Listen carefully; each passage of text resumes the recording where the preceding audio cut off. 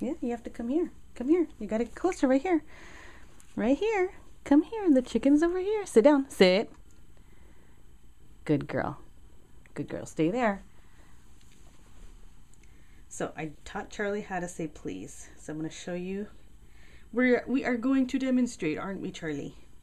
You're going to be a good girl with some good manners. You're going to be a well-mannered chihuahua, aren't you? Okay, let's see. So we got some KFC leftovers. You ready? Be nice. No growling. No snapping. You be nice.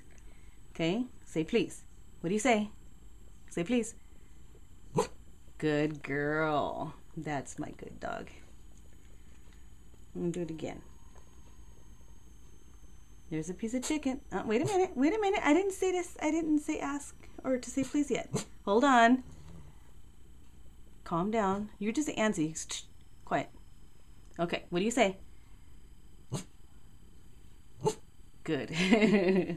there you go. One more and that's it. That's all I have. One more little piece. Oops. Okay, what do you say? Atta girl. That's my girl. And that's a well mannered chihuahua. I don't have no more.